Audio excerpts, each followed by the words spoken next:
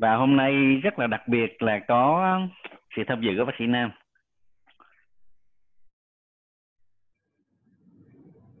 Và có lẽ là chúng ta cũng sẽ nghe thêm được nhiều ý kiến từ bác sĩ Nam nữa để bổ sung cho những gì mà tôi còn thiếu sót.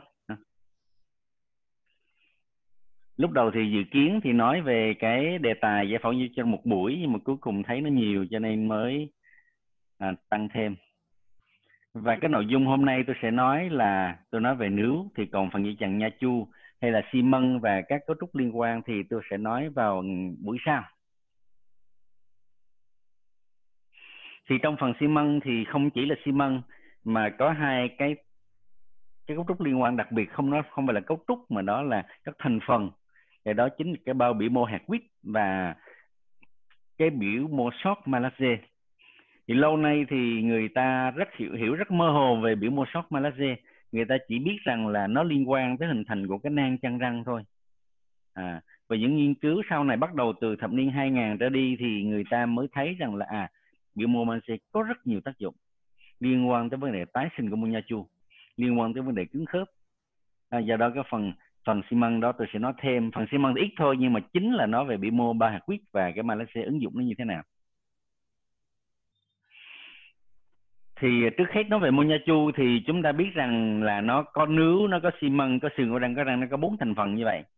Cái trong đó thì nướu thì nó là xuất phát từ nguồn gốc khác, nó lại nằm trong cái lớp biểu môn niêm mạc miệng. Môn nha chu cái nướu răng thuộc niêm mạc miệng hơn là cái cấu trúc của nha chu có răng như bình thường.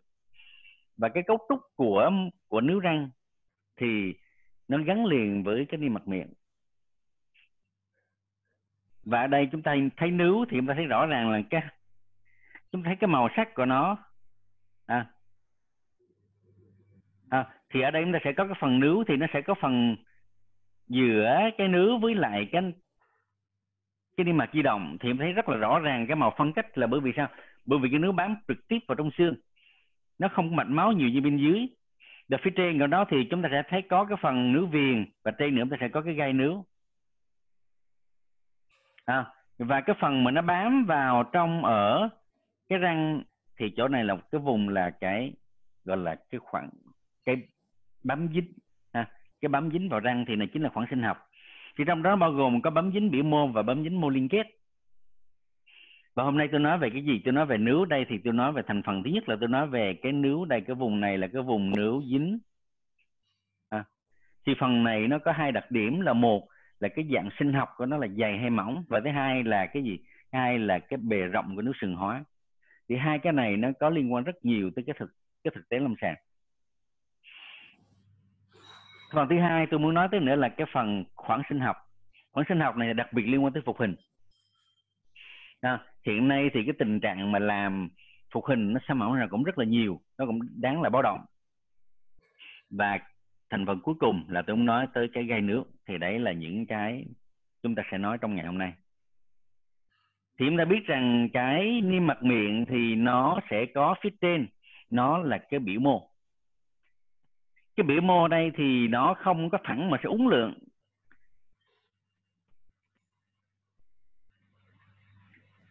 Và chúng ta quan sát thấy những uốn lượn như thế này.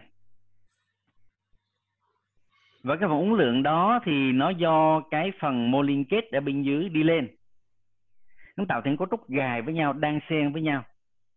Đấy, thì cái phần bên dưới đó nó chính là cái lớp gọi là lớp đệm niêm. Cái lớp đệm niêm nó gồm có hai phần, một phần là cái lớp lưới ở bên dưới và cái phần nữa là cái lớp nhú bên trên.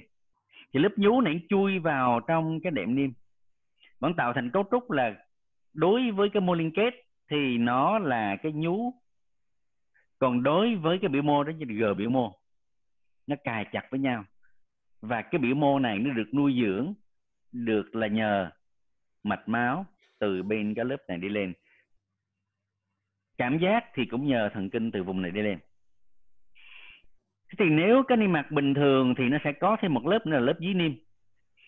Cái lớp dưới niêm này thì nó có nhiều cấu trúc khác nhau nhưng mà trong vùng nướu thì không có lớp dưới niêm. À, trong nướu là như vậy thì cái lớp đệm niêm nó dính chặt vào cái xương bên dưới. À, phần xương đó chính là xương ổ răng. Như vậy chúng ta quay lại cấu trúc nướu răng ở đây em thấy là gì? Ở đây giữa cái phần nướu chúng ta rõ được với phần dưới là em thấy rất là rõ.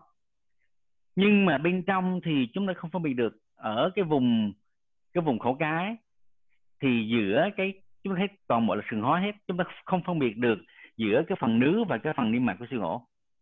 À, niêm mạc của cái khẩu cái. Bởi như vậy thì thực sự phân biệt được là dựa vào cái gì dựa vào đặc điểm cấu trúc mô học tức là nếu như cái phần dưới nó mà không có lớp dưới niêm thì đó là nứa mà phần dưới có lớp dưới niêm thì nó là niêm mạc khẩu cái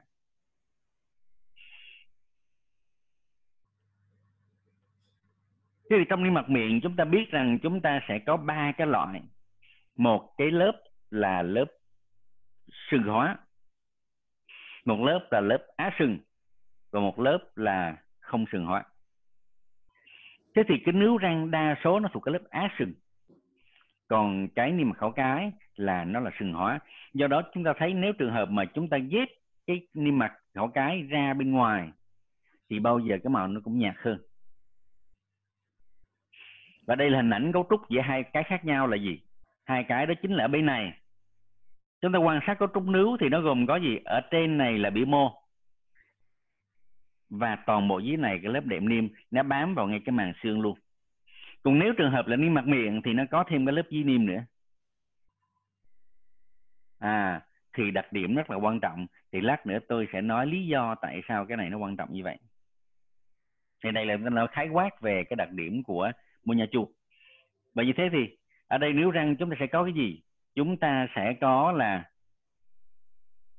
chúng ta sẽ có gai nướu chúng ta sẽ có phần chỗ này là phần nước rời hay là nước viền cái phần này là phần nước dính và dưới này là cái à, niêm mạc niêm mạc miệng. Mà phần này chính là cái niêm mạc di động. Và đây chính là cái tiếp hợp nối giữa nước và niêm mạc. Và cái vùng này thì đó chính là khoảng sinh học. À, trong đó nó sẽ có bấm dính biểu mô và bấm dính mô liên kết như vậy thì chúng ta sẽ nói tới những ứng dụng gì từ các đặc điểm các cấu trúc này. À, và hồi nãy chúng ta quay lại lúc nãy làm thấy rằng ở bên trong thì giữa nướu và cái này mà khẩu cái rõ ràng chúng ta sẽ không phân biệt được. À, và như vậy thì khoảng cách này nó là bao nhiêu? À, một phần nó sẽ là nướu phần bên này nó sẽ là phần bên này nó là nướu. Bên chỗ này nó là nữ và chỗ phần này lên mặt khẩu cái. Và thực tế chúng ta không phân biệt được đi lâm sàng và trong cái nướu thì chúng ta sẽ có cái gì? Ở đây chúng ta sẽ có cái chỗ này là cái phần nướu rời. Đấy. cái phần nướu rời này thì đặc điểm của nó là cái vùng ngay chỗ đây là có cái khe nướu và trong này cái cấu trúc của mô liên kết à, cấu trúc của bị mô này hoàn toàn khác nhau. Ở đây nó có ba loại. Một loại là gì? Một loại là bị mô sừng hóa nằm bên ngoài. Và cái thành trong của khe nướu nó là bị mô không sừng hóa và phần bám vào mô nó là biểu mô bám dính. Như vậy có ba loại biểu mô khác nhau. Không? và tại cái vùng này nó chính là cái khoảng sinh học. Thì trong đó nó gồm có phần gì? Nó sẽ có phần biểu mô. Biểu mô chỗ này là cái bám dính biểu mô và chỗ này bám dính mô liên kết. Thì hai cái này nó khác nhau sao? Cái này khác nhau chỗ là khi chúng ta đo túi thì khi cái cây đo túi nó nằm trong giới hạn này thì nó sẽ không có chảy máu. Và thông thường chúng ta đo túi trong sàng là rất rất dễ là đi vào cái vùng này à, và có nhiều trường hợp à, có thể đi vào tới vùng bên dưới nữa. Nếu như chúng ta đo túi mà nó xuống tới bên dưới nữa thì nó sẽ có tình trạng chảy máu có thể chảy máu xảy ra. Và như vậy thì trong cái nướu thì hai cái quan trọng chính là gì? Chính là thứ nhất là cái bề rộng của nướu dính. Và thứ hai là dạng sinh học của nướu. Thì đối với dạng sinh học nướu thì cái dạng dày thì thường nó sẽ phẳng còn dạng mỏng sẽ uống lượng và thông thường cái đặc điểm của dạng dày phẳng thì nó cũng đi đôi với lại cái xương ổ bên dưới nó cũng dày hơn. Còn dạng mỏng thì xương ổ bên dưới xương ổ răng dưới nó cũng sẽ mỏng hơn.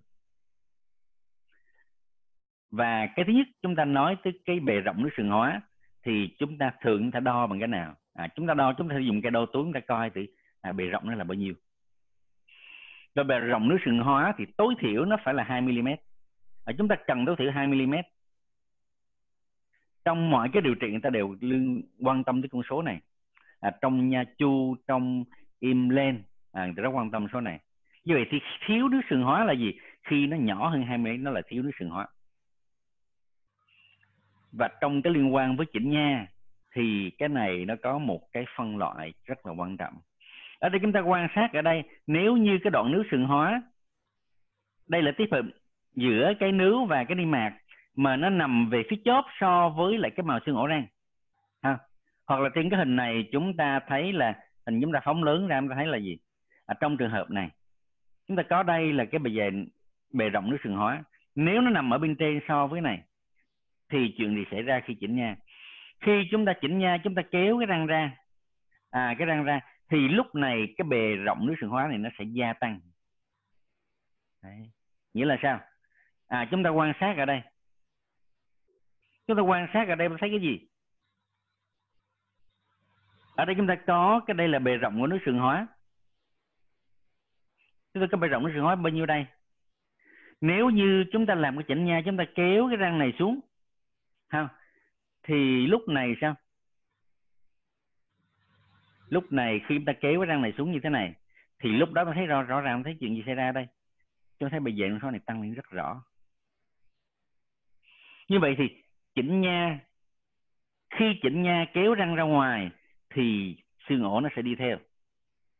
Nhưng nếu có thể đi theo hay không thì tùy thuộc vào đặc điểm của nếu nếu như cái vị trí nằm bên dưới như thế này thì nó sẽ tăng xương ổ. Còn nếu như nó nằm ở bên trên, nếu như nằm ở chỗ này thôi thì lúc đó sẽ không có hiện tượng mà tăng bề rộng của xương hóa và chúng ta thể xem ca lâm sàng như thế này. Ở trong trường hợp này là một ca nó bị làm sao? À chúng ta có một cái thâm giác đen đây rất là xấu rất là mất thẩm mỹ. Chúng ta có tình trạng tục nướu ở đây. À, chúng ta nếu so cái đường viền nướu ở đây làm sao? Thì nó sẽ có một độ lệch đường viền nướu rất là rõ. Bây giờ muốn giải quyết trường hợp này đấy thì trong trường hợp này khi mà chỉnh nha thì em thấy chuyện gì xảy ra? Khi kéo cái răng xuống thì lúc này ta thấy rõ ràng là bề rộng của nước sừng hóa này gia tăng rất nhiều so với lại bên kia. À, chúng ta quan sát chúng ta kéo răng xuống rồi thì cái bộ rộng nó gia tăng rất nhiều. Thì đây là một cái ứng dụng rất có lợi trong hợp chúng ta muốn làm trường hợp chúng ta làm im lên giả sử ca này chúng ta muốn nhỏ răng làm im lên mà muốn cho cái nước nó đẹp thì bước đầu tiên chúng ta phải làm gì? Chúng ta phải tiến hành phải chỉnh nha. À, chỉnh nha cho răng này trồi xuống thì như vậy chúng ta có được hai cái gì? Thứ nhất chúng ta có thêm xương. Rõ ràng rằng trên cái răng này so với răng hai bên thì cái xương nó sẽ thiếu. Và như vậy khi chúng ta chỉnh nha cái chúng ta có thêm xương. Và cái thứ hai nếu cái nướu này thuận lợi thì sẽ có thêm cái gì? Nó sẽ có thêm cái bề rộng nó sừng hóa giúp cho chúng ta.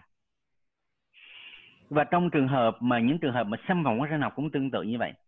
À, chúng ta muốn điều trị xâm vòng sinh học mà khi cái nướu răng bề rộng nó không đủ nếu chúng ta cắt bỏ nó đi và khi chúng ta đánh giá được, chúng ta đo, chúng ta coi khoảng cách cái vị trí của cái bề rộng của sừng hóa mà nằm phía trên sau màng xương ổ, nằm về phía chốt sau màng xương ổ thì sẽ làm được cái chuyện đấy. Còn ngược lại, khi mà cái, ở đây em thấy là gì? Khi em thấy là ở đây cái chúng ta nhìn hình này, nó nằm phía trên so với này thì khi mà chúng ta kéo răng này ra rồi đó, thì xương nó chạy theo, nhưng mà cái nước không bao giờ chạy theo cả cái xương này nó sẽ nó sẽ tạo ra, nhưng mà cái nướu sẽ nằm bên dưới ha. ha. nghĩa là gì nghĩa là khi chúng ta có một tình trạng cái răng này giống như vậy, ha. khi chúng ta chỉnh nha, chúng ta kéo cái răng này xuống, ha. thì em thấy là sao à chỗ này cái nướu sừng hoa nó không có tăng thì điều này, cái phân loại này là có năm 2014 nó cho phép chúng ta làm gì? Đánh giá tình trạng nếu để chúng ta biết được là ca này chúng ta có thể làm tăng được cái diện thể, tăng được bề rộng được hóa bằng giải pháp chỉnh nha hay là không? Và câu hỏi ta đặt ra là, thế thì tại sao cái trường hợp kia nó lại tăng? À như vậy thì chúng ta quay qua cái vấn đề cấu trúc của cái nướu để chúng ta thấy được là tại sao nó tăng ở đây trên cái hình này khi mà chúng ta kéo cái răng ra chúng ta quan sát chúng ta thấy cái dây chằng gì? Chúng ta thấy ở đây là cái dây chằng từ đây nó bám xuống. Nó sẽ có tác dụng là gì? Kéo xương bên ngoài. Các vào bên trong kéo xương bên trong nó kéo toàn bộ xương này ra đi cùng với lại cái răng. Và tại cái vị trí bên dưới này à, chúng ta quan sát vị trí bên dưới này thì lúc này nó là chính là cái nướu. Lúc này thì sao? Lúc này nó là nướu thì cái đứa sừng cái nướu là do nó sừng hóa cái đòn gió này đã bám chặt chẽ vào trong xương. Do đó cái phần chỗ này không chạy được. Và như thế thì chỗ này cái bề rộng nó sẽ gia tăng lý do là như thế. À, còn nếu như cái này nằm phía trên thì cái đoạn này nó không nằm không bám vào xương. Nó không bám vào xương nó nằm ở bên trên chỗ này nó nằm từ phía trên để kéo lên. Thì lúc lên là lúc đó thì chúng ta sẽ thấy rằng là gì? À cái thể tích à cái diện tích nước sừng hóa cái bề rộng số này nó sẽ không thay đổi.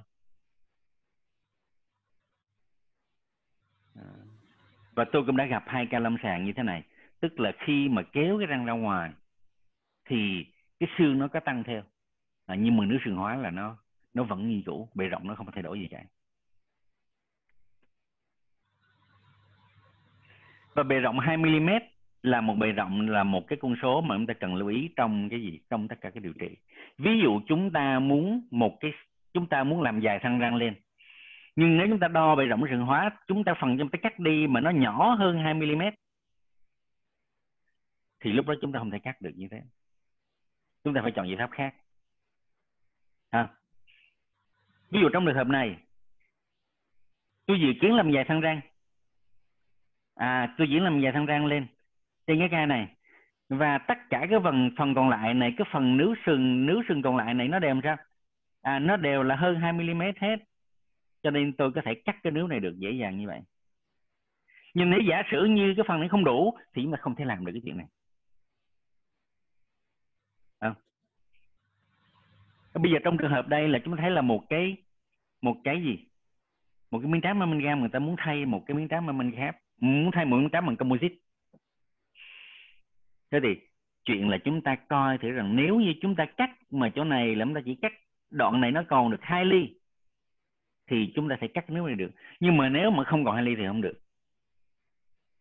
À, thì đây là một cái video clip để chúng ta xem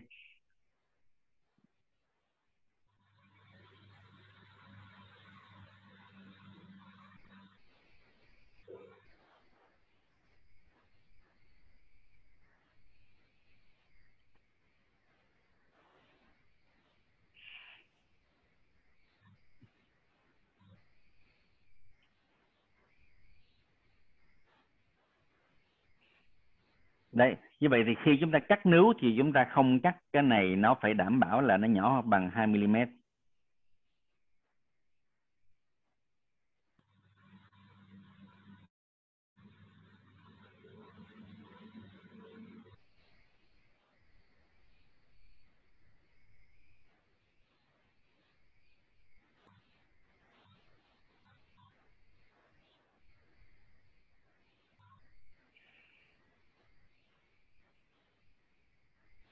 như vậy thì trong trường hợp này chúng ta dùng dao điện hoặc dùng dao cái laser thì chúng ta có thể là cắt bớt cái phần nếu này ra để chúng ta thể trám được cái miếng trám này, thay cái miếng trám amalgam này bằng cái trám composite. Đây. Và cái phần còn lại nó phải đảm bảo là gì? Phải đảm bảo là nó không quá 2 mm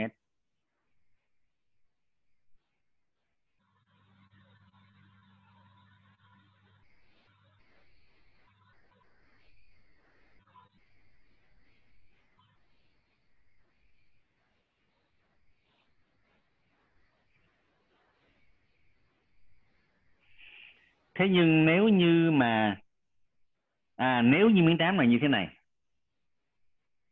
à chúng ta tưởng, thử tưởng tượng được. Cho dù cái này nó nhiều, nhưng mà cái son sau nằm rất là sâu. Giả sử như nếu chúng ta bộc lộ ra được cái son sâu mà dưới này nhỏ 2 mm à thì là không được. Đó là chưa kể là chúng ta còn phải xem xét cái màu xương bên dưới nữa. Nó như thế nào? Do đó nhiều tình huống chúng ta gặp một cái cái son năm nó rất là thách thức nó không có đơn giản không đơn giản rằng là học ra trường là trám được cái răng gặp những răng như thế này là coi như là thua Đấy. Nếu gặp răng như thế này mà chúng ta không biết đánh giá bề rộng của nước sừng hóa, chúng ta không biết đánh giá khoảng sinh học, chúng ta không biết giải pháp thì chúng ta sẽ thất bại trong trường hợp như thế này.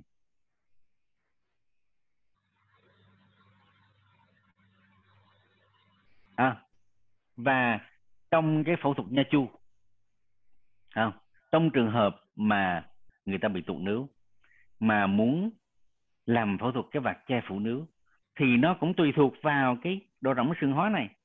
Nếu như nó là hớn lớn hơn 2 mm thì có thể làm cái vạt trượt. Đấy. nhưng mà nếu như nó dưới đó thì lúc đó bắt buộc phải cộng với là ghép mô liên kết thì mới được còn trường hợp mà nó nhỏ hơn nữa thì người ta phải dùng nước sừng hóa bên có đủ hay không? Nếu không đủ thì người ta phải ghép mô liên kết. Cho nên nội cái bề rộng sừng hóa không, nó chúng ta đã thấy rằng là, ví dụ trong trường hợp này, chúng ta thấy là cái nếu sừng hóa chỗ này nó rất là rộng.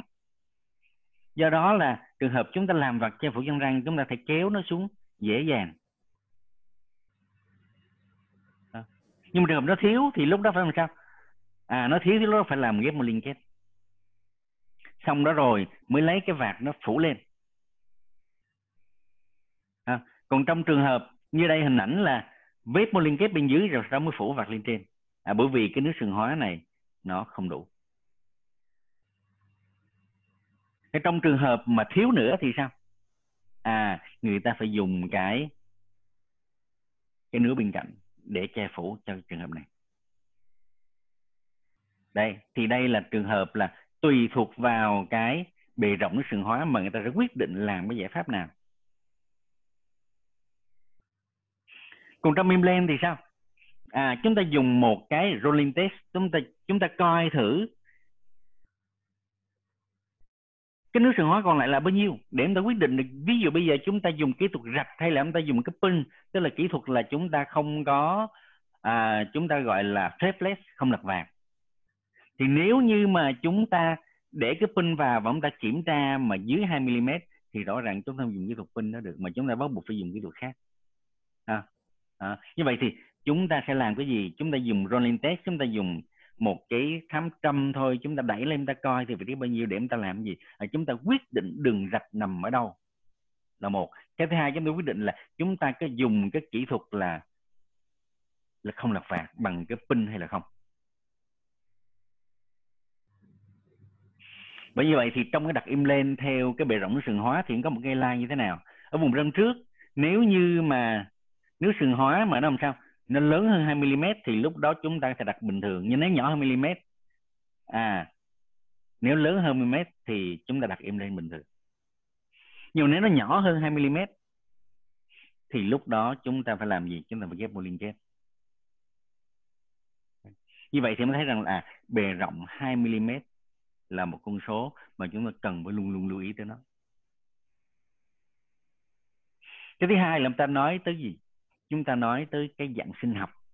Cái dạng nó mỏng hay là nó dày, chúng ta quan sát giữa hai ca này. Cái ca này thì nước rửa nó dày, cái ca nước rửa nó mỏng. Thế thì thái độ đối với trường hợp nước mỏng và nước dày nó cũng sẽ khác nhau trong các điều trị à có những trường nước rất là mỏng và đặc biệt ở hàm dưới thì cái nước thường thường nó mỏng. À. nước này thì mức độ trung bình. À, cái dạng sinh học của nó là như thế. À, thế thì liên quan tới cái đặc điểm dạng sinh học này á, thì Salama mới đưa ra cái phân loại trong đặc điểm bên tức thì. Thì Salama đưa ra bốn loại khác với Tano đưa ra ba loại. Thì khác của Salama với Tano là gì? Salama có phân loại là độ dày của cái nước cái là dạng sinh học nếu dày thì xử lý nó khác mà dạng nướu mỏng thì xử lý nó khác. À, thì đối với trường hợp mà cái đủ xương và mô mềm nó dày à tức là gì? Tức là cái dạng sinh học của này là thuộc loại dài phẳng. Thì lúc đó có thể làm gì? Có thể làm im lên tức thì không lọc vàng được. À, và dễ xương à, ví dụ như ca này. Ca này em thấy cái níu nó dài và như vậy thì ở đây sau khi nhỏ răng rồi có thể đặt bên tức thì không lặt vạt à, ghép xương. Và sau đó chúng ta quan sát và thấy một kết quả rất là đẹp. Thế nhưng nếu cái nướu nó mỏng thì sao? À nếu cái nướu nó mỏng thì lúc đó cần phải làm gì? Đặt in tức thì được không lật vạt nhưng mà phải làm gì? Phải có cái một liền ghép đây là sự khác biệt giữa các phân loại salama và của tano. Tano thì không nói tới vấn đề mô mềm mỏng hay là dài. À, nhưng mà Salama thì có đề cập tới vấn đề này. Và có như vậy thì mới đẹp hơn. Và chúng ta quan sát chúng thấy chuyện gì ở đây? Khi cái niêm mạc nó mỏng thì thông thường cái xương nó thấy cũng rất là mỏng.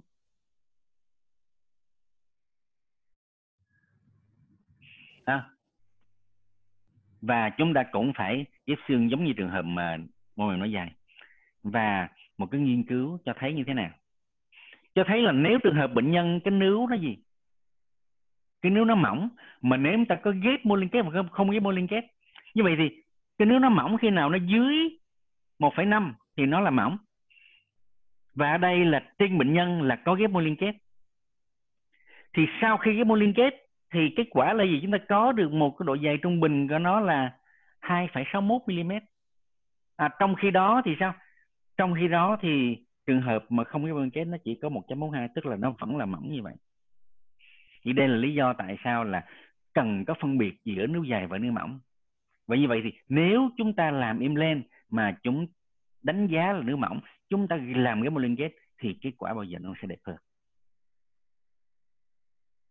À, và như vậy thì cái guideline của đặt im lên theo dạng sinh học là cái gì? Nếu như dạng sinh học mà nó dài tức là lớn hơn 1,5 mm hay là nó mỏng là nó dưới 1,5 mm thì chúng ta sẽ khác nhau ra sao? À đối với dài chúng ta đậm lên bình thường. Đối với mỏng thì hoặc là chúng ta phải làm gì? Chúng ta đặt lên về phía cổ cái hoặc chúng ta phải ghép một liên kết. Thì đây là cái liên quan giữa cái dạng sinh học và vấn đề chúng ta đặt im lên. Như vậy thì tôi đã nói xong cái vấn đề là đặc điểm của cái dạng sinh học và bề rộng của sừng hóa. Bây giờ cái này là cái chúng ta rất hay gặp, là cái gì? Chính là khoáng sinh học. Ở đây thì chúng ta có được gì? Đây chính là khoáng sinh học. Và cái này gồm có hai phần, là cái phần bám dính mô liên kết ở bên dưới và một cái phần là gì? Và cái phần là bám dính biểu mô bên trên và để đánh giá khoáng sinh học này thì chúng ta làm một kỹ thuật là bon sounding. Sau khi mà chúng ta đặt cái cây đo túi vào vào để đo đi túi rồi, chúng ta sẽ đâm thẳng xuống tới cái màu xương. Đấy. và chúng ta từ đi cái khe nướu thì chúng ta sẽ có được cái khoảng sinh học ở đây. Và cái vấn đề đây là vấn đề rất là thường gặp trong phục hình. Và tại cái vị trí bám dính đấy đấy thì cái bám dính của cái biểu mô vào trong nó là bấm dính mô liên kết cái vấn đề khoáng sinh học này được nghiên cứu bởi Gazzolo từ năm 1961 lúc này ông ta gọi là vùng nối răng nướu. À, tác giả làm trên 3.000 ca để coi thử là cái bề dày của cái đó là bao nhiêu và cho tới năm 62 thì Brockwater Cohen mới gọi cái tên là khoáng sinh học. Như vậy thì đầu tiên thì nó chỉ là vùng nối răng nước thôi. Nhưng mà vừa rồi là khi năm 2018 khi tôi đi dự cái cái hội nghị mà về Nha Chu ở Europerio đấy thì người ta lại quay lại từ vùng nối răng nước cho tới năm 1977 thì Inber là cái người là bắt đầu đề cập tới những ca lâm sàng là liên quan đến phục hình. Nhưng mà đây chỉ những báo cáo, case report thôi chứ chưa có nói tới những vấn đề mà như bây giờ. Sau đó từ năm 84 thì Nevin với Scuro mới đưa ra một những cái ca tổng kết nhiều hơn những cái ca là liên quan tới vấn đề sản phẩm sinh học. Như vậy chúng ta thấy là gì? Từ khi bắt đầu nghiên cứu năm 1961 và mãi cho tới năm năm 77 rồi sau đó tới năm 84 là gì? Hơn 20 năm sau lúc đó ta mới nhận diện ra được nó. À, nhưng mà cho tới khi là gì? Cho tới khi Vasek năm 94 mới làm cái một cái tổng quan về vấn đề này. Và đánh lên cái tiếng chuông báo động là gì? Xâm phạm sinh học. Là vì sao? Là bởi vì thời điểm năm 94 trở đi thì người ta đã bắt đầu làm phục hình thẩm mỹ nhiều hơn, làm phục hình sứ ở mặt ngoài và như vậy thì lúc đó vì muốn vì muốn đẹp, người ta phải mài sâu xuống bên dưới và dẫn đến sản phẩm sinh học. Và câu chuyện này, mặc dù tại Việt Nam chúng ta cũng đã có báo động rất là lâu rồi, nhưng mà cho tới bây giờ tôi vẫn gặp rất là nhiều sản phẩm sinh học như thế. Thế thì ở đây là một cái ca lâm sàng cái ca lâm sàng này là năm 2017 bệnh nhân này thì sau khi làm cái phục hình và chỉ có hai tuần thôi. Và chúng ta quan sát chỗ này nếu đã bị viêm lên. Cái ca này lại là sản phẩm của con gái tôi làm trong trường. Và lúc đó thì sắp hè và lúc đó bệnh nhân than phiền là gì? Bệnh nhân than phiền là hôi thứ hai chảy máu. Thứ ba thông phiền nó lung lay. Cái này một cái rất là hay có rất nhiều vấn đề. Nó vừa liên quan khớp cắn vừa liên quan nha chu luôn. À, và nếu chúng ta quan sát trên cái phim con phim CT thấy chuyện gì xảy ra đây? À ca này cái tiền sử bệnh nhân là nó bị gãy răng. Và chúng ta quan sát ở đây là cái xương ổ nó tới đây. Và cái đường gãy làm sao? À, cái xương ổ nó, chỗ này chỗ này chúng ta thấy rất là và chỗ này là sao? Cứ đường gãy vác xuống nghe tới cái màu xương luôn, đúng không? Ở trong này thì xe mà ở ngoài khác cái màu xương luôn. Thế thì rõ ràng trên ca này ngay từ đầu, ai làm cũng đều bị sa mỏng sinh học cả vấn đề là gì? Vấn đề là không nhận diện ra. Không nhận diện ra là à, ca này nếu ta làm một hình là sa mỏng sinh học thế thì khi mà à con gái tôi nhận cái ca này thầy cô phân cho làm chữa tủy. À, xong rồi làm gì? Tái tạo lại rồi làm phục hình. Làm phục hình lên thì nó cũng về phương diện thẩm mỹ thì thấy cũng ok đúng không? Về mặt hình dạng màu sắc tất cả mọi cái. Nhưng mà vấn đề là gì? À, vấn đề là sao mẫu sinh học. Đấy. và thực tế là chúng ta gặp từ răng đơn lẻ cho tới nhiều răng có thể rằng là một răng như thế này. Và khi xem ổn sinh học thì nó có thể nướu xương phòng lên như thế này. Chúng ta thấy dạng đây nướu xương phòng. Nhưng mình cũng có thể là gì? Nó sẽ bị tụt nướu nướu tụt xuống.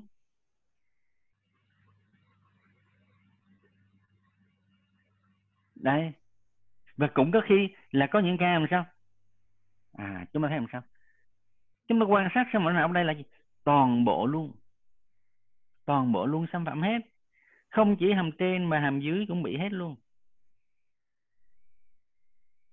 Và đặc biệt là ở đâu? Đặc biệt ở vùng gai nướu. Đặc biệt vùng gai nướu này. Thế tại sao nó hay bị cái chỗ này nhiều? Là bởi vì chúng ta biết rằng là cái răng của chúng ta nó như thế này. Và như vậy chỗ cái đường viền của răng nó phải ra này. Thế thì khi mà mài răng, bắt buộc chúng ta phải mài đi theo cái đường viền này nhưng mà những ca này ta làm ra, người ta mày thẳng vô luôn. Đấy, và như vậy thì xâm phạm sinh học, mặt ngoài là mặt bên, và tỷ lệ bị mặt bên nó sẽ cao hơn mặt ngoài. Và chỉ vòng hai tuần sau là bệnh nhân có thể thấy được cái tình trạng nướu nó viêm rồi, và nó viêm hoài viêm hoài không bao giờ nó hết.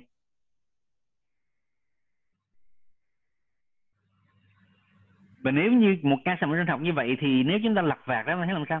À chúng ta thấy là cái bờ này sẽ nằm rất gần gác gần sát với xương. À, nằm gần sát với xương. Đấy.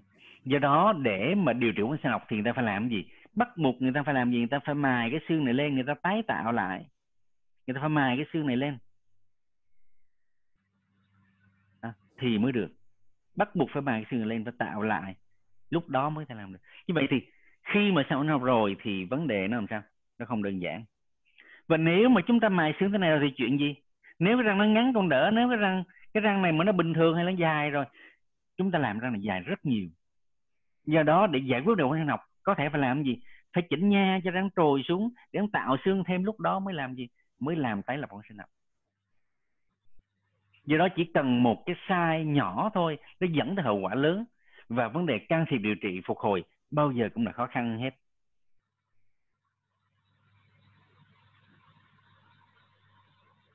à, và những trường hợp nào nhiều nhất là bờ phục hình mặt ngoài là dễ bị thương sinh nào thế nhưng không chỉ là bờ phục hình mặt ngoài đúng không? À, chúng ta gặp những son sâu dưới nước son 5, son 2 là son 4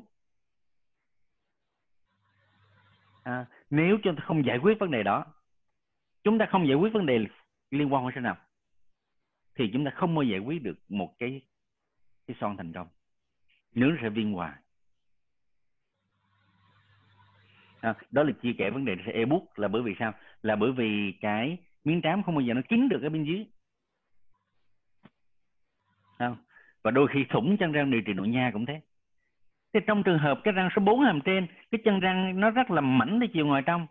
Và như vậy khi người ta nó có hai ống ngoài ống trong và tỷ lệ là gì? Khi khoan vô là thủng ra mặt ngoài và dẫn tới cái sơ mỏng sinh học.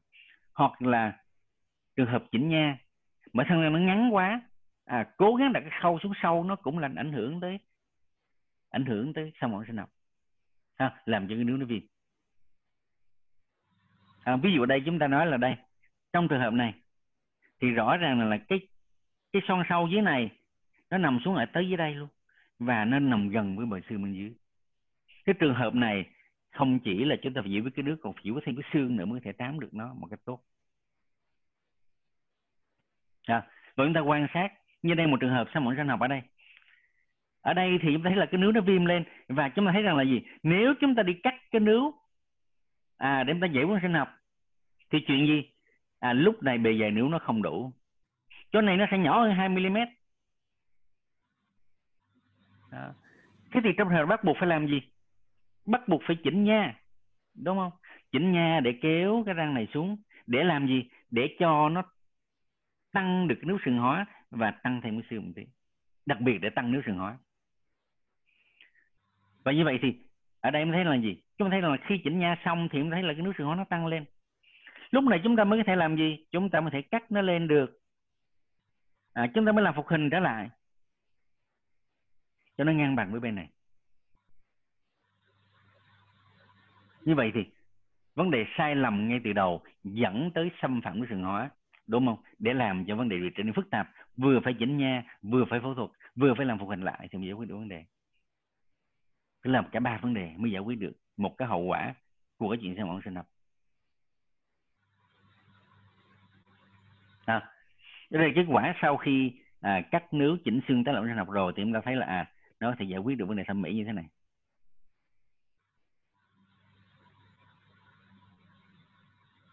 Cái câu chuyện chúng ta làm gì? À chúng ta làm thế nào để cho đừng sao ổn sinh học? Nghĩa là chúng ta đặt cái vị trí đụng tác phần xuống nước nằm ở ngang chỗ nào? À, thì nó có nguyên tắc. À, theo Cadenza thì sao? Nếu như khe nước mà dưới 1,5 thì mình cho vị trí dưới nước viền 0,5 mm cái tại sao ta cho 0,5 mm là bởi chúng ta biết rằng là gì? Chúng ta biết rằng là trong khoảng sinh học nó có kiểu bám dính biểu mô. Chúng ta đo túi cái khoảng nó khoảng một ly bám dính một khoảng một ly và chúng ta sẽ đo xuống dưới đó luôn. Nó không hề chảy máu. À, do đó chúng ta trừ hao một ly đó.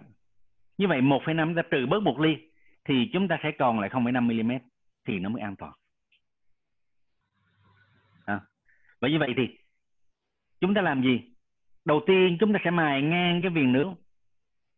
À, và đặc biệt lỡ mặt bên chúng ta cũng phải mài theo cái đường đường uống của cổ răng chứ chúng ta không có mài ngang vào. Đấy.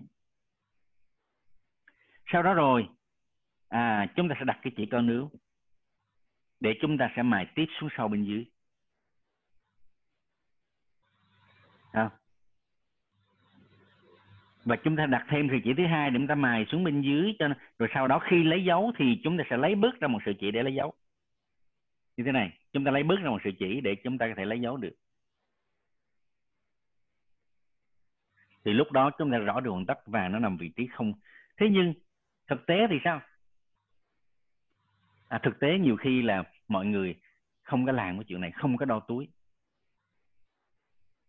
Còn nếu trường hợp mà nếu như mà cái đường tắc mà nó trong trường hợp khe nướng mà nó lớn hơn 1,5 mm thì làm sao?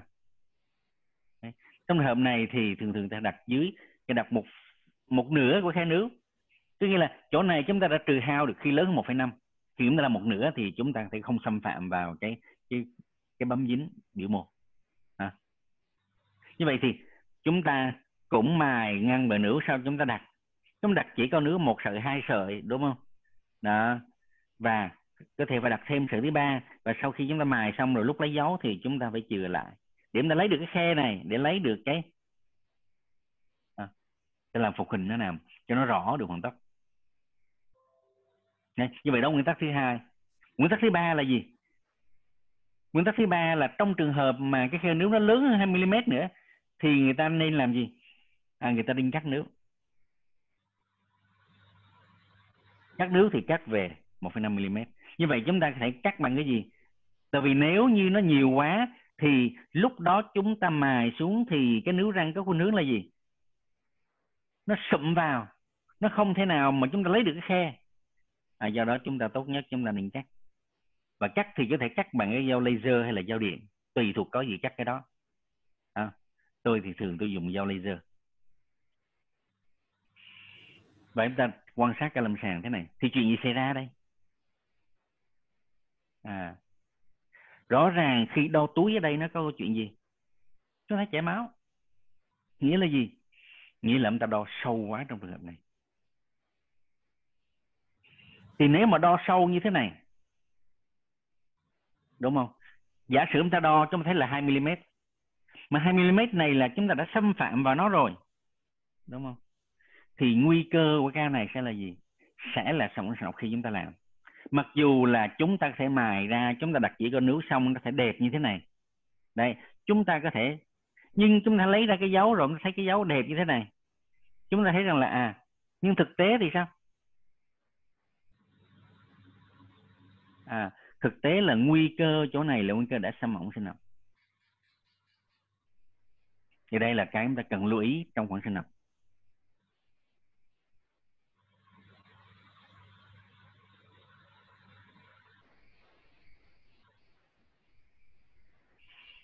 Và khi làm xong rồi thì phục hình tạm phải làm sao? À, phục hình tạm thì chúng ta phải lưu ý rằng là cái bờ nó phải đảm bảo độ chính xác. Đây rồi sau đó thứ hai là thứ hai là chúng ta phải làm sao? Hình dạng phục hình nó phải đảm bảo. Cái dạng viền của khoang kẻ đặc biệt là khoang kẻ đấy rồi bề mặt hình nó phải đảm bảo là trơn láng. À, thì lúc đó và chúng ta phải kiểm soát cái khe nướu để loại bỏ mảnh vụn vật liệu khi vật liệu thừa thì mới đảm bảo được là toàn sinh học nó tốt. Rồi cuối cùng là tìm nói về cái gai nướu. Gai nướu thì nó sẽ lấp đầy à, cái khoang kẽ răng chỗ này. À. nhưng mà nếu không có gai nướu thì sao? Thì sẽ rất mất thẩm mỹ. Cái không có gai nướu này nó có thể là một diễn tiến sinh lý của bệnh nhân. Nó có thể là do gì? Do bệnh lý nha chu. Và nó cũng thể do do điều trị thì trong cái điều trị thì cái điều trị để lại cái tam giác đen nhiều nhất chính là cái điều trị chỉnh nha. Và đặc biệt, khi răng nó có dạng tam giác, khi răng có dạng tam giác như thế này thì nguy cơ rất là cao. Như vậy thì trong một trường hợp nếu nó mỏng, trong một trường hợp thân răng tam giác, ở trường hợp người lớn tuổi thì nguy cơ để lại tam giác đen. Và cái chuyện tam giác đen này là gây mất thẩm mỹ nhiều bệnh nhân ta không chấp nhận được. À, nhưng mà có những cái ta không tránh được. Trong nhiều yếu tố mà đầy đủ yếu tố mà nguy cơ như vậy răng tam giác nướu mỏng người lớn tuổi ba mấy bốn mươi đúng không? Thì khi chúng ta điều trị là đó nguy cơ rất lớn và phải nói trước với bệnh nhân. Bệnh nhân phải cam kết với mình cái chuyện là tam giác răng có thể xảy ra thì trong mới làm. Chứ không bệnh nhân mắc đền là không đường nào khác hết. Và trong cái tam giác đen này thì nếu đó là sinh lý thì chúng ta quan sát thấy cái gì? Nó liên quan tới cái gì? Nó liên quan thứ nhất là, thứ nhất là trên này tiếp xúc bên thứ hai là cái màu xương ổ. Đây là hai cái thông số quan trọng.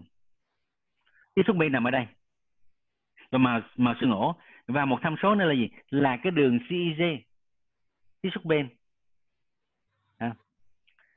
CIG đây. Như vậy thì nó sẽ có một cái gì nó có hai cái chỉ số, hai cái tham số quan trọng đó là khoảng cách từ cái CEG màu xương ổ cho tới CEG à. và thứ hai là tiền màu xương ổ cho tới tiếp xúc bên à. như vậy thì khoảng cách từ màu xương ổ cho tới CEG thì trung bình là nó làm sao nó nhỏ hơn 2 mm à. còn khoảng cách từ màu xương ổ mà cho tới tiếp xúc bên thì trung bình nó khoảng 4 đến 5 mm. À. Thì tôi gọi cái đó là V1 và V2 đi thì chuyện gì? Chúng ta sẽ đánh giá được hai đặc điểm đó ở trên cái gì? Ở trên cái phim. Để chúng ta biết được là vấn đề này như thế nào. Thì trong quan hệ với hai cái này thì câu chuyện là gì? Nếu như khoảng cách này à, tôi gọi nó là V1 và nếu như khoảng cách xương ổ tiếp xúc bên tôi gọi là V2 thì chúng ta sẽ có các chỉ số gì? Nghiên cứu của Nuland và sau đó của Salama, đây có hai nghiên cứu. Một cái nghiên cứu khoảng cách của cái gì? Một cái là khoảng cách giữa cái trong trường hợp V1 là khoảng cách của mà xương ổ cho tới CZ V2 khoảng cách từ màu xương ổ cho tới tiếp xúc bên. Tiếp xúc bên chỗ này. Nếu như mà nó được hai năm thì lúc đó gây nó lúc đại khoan chảy răng nhưng mà nếu như cái này mà nó bắt đầu cái này tăng lên, đúng không? Thì lúc đó sao? Gây nước chỉ đáp đầy khoảng 56 phần trăm khoan chảy răng thôi. Còn trong trường hợp mà à cái này là năm và này lớn hơn 7 thì chỉ có 37 phần trăm. Chúng ta có thể làm được cái gì? Cái này chúng ta không làm được cái khoảng cách từ mọi sự CM chúng ta không làm được. Nhưng cái V2 này chúng ta cải thiện được. Có nghĩa là khoảng cách từ mọi sự cho tới tiếp xúc bên bằng cách gì? Chúng ta dời tiếp xúc bên. À. chúng ta làm thay đổi có được. Ví dụ trường hợp này, giả sử đi tiếp xúc bên, tức mà xương ổn rất là xa.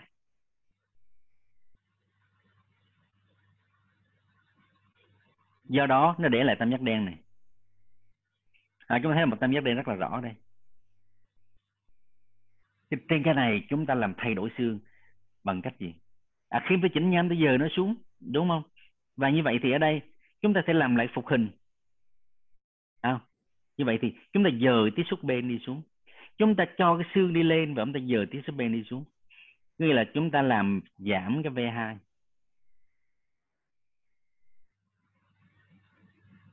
à, để mà chúng ta đạt được cái chuyện là giải quyết cái cái tam giác đen của bệnh nhân. À, hoặc là gì? Chúng ta làm phục hình chúng ta cũng làm giảm. Ở đây cái tiếp xúc bay nằm bên trên cao xuống tới dưới này làm sao? À. Như vậy thì nếu chúng ta làm cái phục hình sao? Chúng ta dời tiếp xúc bên xuống. À như trường hợp này. Có nghĩa là chúng ta làm giảm được tam giác đen như vậy thì chúng ta lưu ý V1 V1 là khoảng cách từ màu xương ổ cho tới CEG thì chúng ta không can thiệp được. Nhưng mà V2 là khoảng cách từ màu xương ổ cho tới là tiếp xúc bên. À, là chúng ta có thể can thiệp có thể thay đổi được cái này để làm cải thiện cái tam giác đen của bệnh nhân. Như vậy thì nếu bệnh nhân chỉnh nha, có thăng răng giảm tam giác, ở bệnh nhân trưởng thành nó có nguy cơ đó thì chúng ta sẽ tư vấn cho bệnh nhân à nếu như mà muốn cho nó không tam giác đen thì có thể phải chấp nhận giải pháp phải là phục hình. Nếu bệnh nhân đồng ý đó thì chúng ta không làm. Ở thực tế ra phòng khám tôi cũng giống như vậy, tức là có trường hợp là khi tư vấn cho bệnh nhân rồi bệnh nhân đồng ý. Thì sau chỉnh nha xong thì đúng là có tam giác đen và mình giải quyết nó bằng cái phục hình và cái chỗ gây nướu đó trong nét đen đó nó có thể là vấn đề thay đổi sinh lý. Ở đây thay đổi sinh lý là gì? Chúng ta biết rằng bình thường thì nó sẽ có tình trạng mọc răng mù trừ, thì tôi sẽ nói kỹ mọc răng mù trừ vào vào lần sau nó bao nhiêu là mọc răng. Chứ đây là mọc răng mù trừ là chuyện gì xảy ra? Khi mọc răng mù trừ thì đầu tiên nó bù trừ xi măng phía chóp. Cái xi măng thì nó sẽ có năm loại xi măng khác nhau. Cái xi măng mà ở chóp là xi măng có tế bào và nó sẽ bù đắp vào chỗ đó để làm gì? Để cho cái răng nó mọc lên, mọc trên bù trừ. Và khi mà cái răng nó mọc lên như vậy thì chuyện gì? Khi răng mọc lên như thế thì lúc đó thì nó, cái tiếp xúc bên này nó cũng sẽ đi lên. Tiếp xúc bên sẽ đi lên.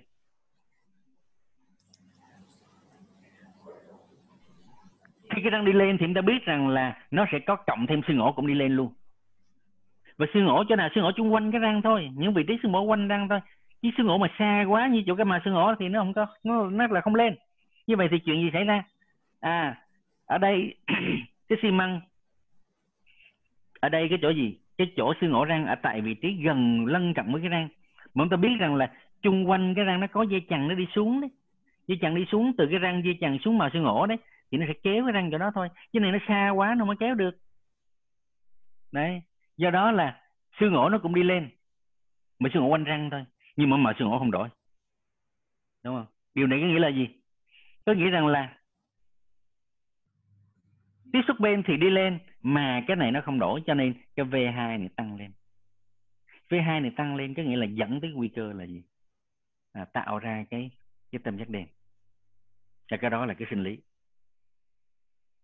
À, và lúc đó là rõ ràng nó sẽ giảm độ phủ gây nước chứ chúng ta giải thích được là tại sao tới người lớn tuổi là nó bị tụt nước xong xuống rồi nó tam giác đen nó nhiều là như thế à. và trong gây nướu thì nó liên quan tới phân loại tụt nướu là một cái rất là quan trọng à, thì trong phân loại tụt nướu thì sao tụt nướu là khi nào nó lộ CG ra thì nó là tình trạng tụt nướu và như vậy thì chúng ta thấy được CG ở đây à. và đây là chính là cái tiếp hợp của nướu và cái niêm mạc như trường hợp này, thì đây gọi là Miller 1 thì Miller 1 nghĩa là gì? Miller 1 ở đây là à còn nước sừng hóa. Và cái thứ hai là gì? À gây nướu hai bên bình thường gây nướu hai bên. Và loại một, loại hai thì nó là như thế. Loại một và loại hai. Đối với loại hai thì nó không còn nước sừng hóa chỗ này nữa. Đúng không? Nó không còn nước chỗ đó nữa. Ờ, nhưng mà sao? Nhưng mà cái nước hai bên nó vẫn còn như vậy thì khi gây nứa mà còn thì nó là loại một hoặc loại hai, tùy thuộc vào cái cái nước sừng hóa, bề rộng so phía chốt. Nhưng hai loại này là tiên lượng rất tốt. Tức là nếu làm phẫu thuật che phủ răng răng là cái khả năng che phủ được cái nướu này tiên lượng rất là ok. Nhưng mà nếu nó qua loại 3 à ở đây thì chúng ta thấy rằng là gì? Đây là hình ảnh của cái cái loại hai của Miller có hai A B nữa mà thôi, chứ tôi không có đi sâu vào đó. Chúng ta đang nói là liên quan giữa gây nướu với lại tụ nướu thôi. Đúng không? Nếu như mà đây là cái loại hai, là hai A, hai B. Vâng. Nhưng mà qua loại 3 thì sao? Qua loại ba nó bắt đầu thấy gì đây? À. Chúng ta thấy nó mất cây nướu cho này rồi. Qua loại ba thì nó đã có mất cây nướu cho này rồi do đó là gì? Khi mà nó mất gây nướu ở một bên, thì nó là cái loại ba. Và lúc này cái tiên lượng để điều trị của nó làm sao? Nó sẽ thấp hơn. Khả năng phủ được gây nướu sẽ thấp hơn. Không? còn nếu là loại 4 có nghĩa là chúng ta thấy được là tình trạng là cái tam giác đen ở hai bên luôn. Đấy. cho nên cho dù cái nước sừng hóa bên dưới này nó còn nhiều đi nữa, nhưng mà nó mất cái tam giác đen ở đây à nó bị tam giác đen ở đây mất gây nước ở đây thì tim lượng rất là kém. À, khi chúng ta bị tam giác đen ở đây chúng ta bị tam giác đen ở đây tim lượng rất là kém. À, tại sao như vậy thì vấn đề hơi phức tạp cho nên tôi không có tôi không có nói trong cái trong cái lần này nhưng mà có thể lần sau tôi sẽ nói rõ hơn tại sao là như vậy. Không?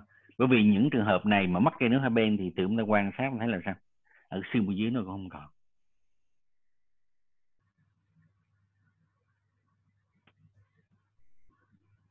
Đấy thì như vậy thì hôm nay tôi sẽ dừng ở phần này. Và chắc là ở đây có bác sĩ Nam thì bác sĩ Nam có ý kiến gì thêm không ờ? mời bác sĩ Nam.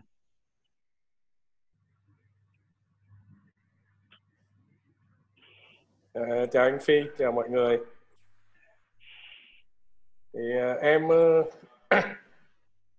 nãy giờ thì, thì thì nghe thì rất là thích, còn à, ý kiến thì chưa nghĩ ra ý kiến gì.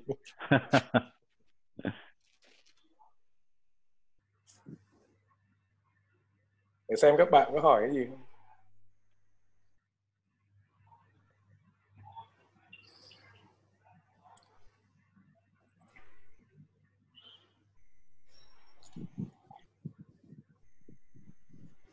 có cái phần đó mà cái phần mà phân loại ờ, trong cái trường hợp mà im lên tức thì á thì lúc nãy anh Phi có nói là Salama với cả Tano thì có hai cái phân loại khác nhau. Thì trong cái cái cái phân loại mà của của Tano cái trường hợp xương ổ răng ấy, thì ông phân làm ba loại và ông không có phân biệt cái cái cái dạng sinh học của cái nướu thì cái lý do là bởi vì là cả cái dạng mỏng và dạng dày thì Tano ông tiếp cận theo một phương pháp cũng theo tiếp cận một cái phương pháp thì cái kỹ thuật đó gọi là kỹ thuật dual zone. Tức là cái kỹ thuật ghép xương ghép xương hai vùng cả cái vùng xương với cả cái vùng mô mềm. Và theo những cái nghiên cứu cho đến nay thì cái kỹ thuật đó nó nó sử dụng được khoảng à, bảy tám năm rồi ấy, thì ta thấy cái kết quả nó nó tức là nó rất là tương đương. Do đó thì cái việc á, mà implant tức thì mà nếu làm đúng kỹ thuật theo cái kỹ thuật đó thì nó không có cái sự khác biệt giữa cái dạng sinh học dày với dạng sinh học mỏng. Còn cái trường phái của Salama thì cũng là một cái trường phái đặt implant tức thì, nhưng mà phải ghép mô liên kết cho những cái trường hợp mà cái dạng sinh học mỏng. Thì cái phương pháp đó cũng được nhiều người tiếp cận, tức là ví dụ như ở bên Salama hay là cái nhóm ở Loma Linda thì họ cũng tiếp cận cái phương pháp đó. Và đương nhiên đó là cái dạng sinh học mỏng thì khi mà ghép cái mô liên kết đồng thời ấy, thì nó sẽ tăng cái chiều dày của mô mềm.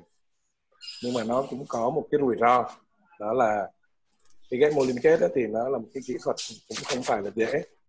Cho nên nếu mà chẳng may là cái ghép cái mô liên kết mà nếu mà nó nó thất bại ấy, thì nó sẽ thất bại hết toàn bộ cái cả cái việc đặt implant luôn.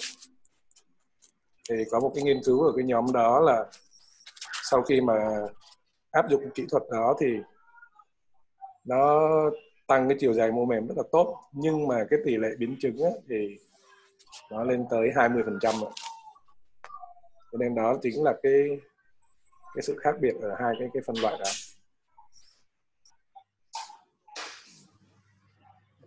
Cho nên em thấy rằng là cái chuyện mà mà ghép mô liên kết cũng là một kỹ thuật gọi là nó là một cái sensitive technique. Nó đòi hỏi là cái người làm phải làm chủ được chứ nếu mà không làm chủ được thì nó lại cái rủi ro nó sẽ trở nên lớn hơn.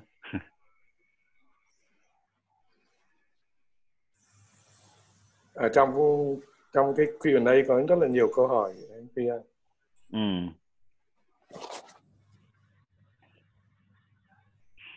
rồi tức là khi xác định khoảng sinh học thì mình lấy cái đầu túi xác định nướu rồi sau đó đâm xuống màu xương. À em thấy khi đó mình đã xâm mỏng sinh học, với lại nếu không cẩn thận đâm ra ngoài giữa nước hoặc xương gây ra tổn thương trước khi điều trị. Thì thực sự ra thì ở đây mình biết rằng cái mà chúng ta đâm nó vào, chúng ta kéo nó ra thì nó sẽ có lần thương. Còn khi chúng ta đặt cái phục hình vào, chúng ta tạo một cái vị trí luôn luôn tổn thương, hai cái nó sẽ khác nhau. Đấy, vì dĩ nhiên khi mà chúng ta đo khoảng sinh học thì chúng ta phải làm đúng kỹ thuật à.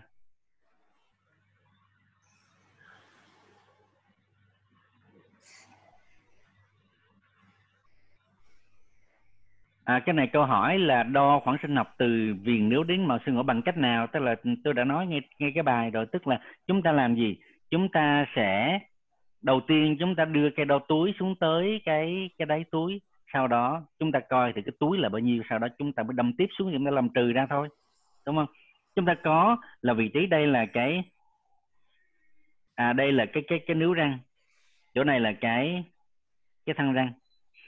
Chúng ta đặt cái cây đo túi xuống ở đây. À chúng ta vị trí này là a. Sau đó không ở thấy, đây là không, cái màu không thấy anh ạ. Anh không không thấy màn hình. Không thấy màn hình hả? Dạ không thấy màn hình.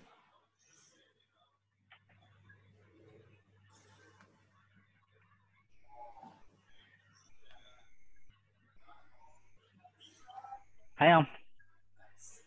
À cái này thì cái màn hình nó nó nó chắc là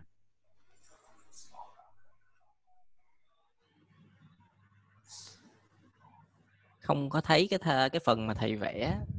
Không thấy vẽ hả? Dạ đúng rồi. Vẫn thấy màn hình nhưng mà không thấy phải thấy cái phần thầy vẽ. Ừ nó nó nó nó chắc là để làm lại cái stop share và share lại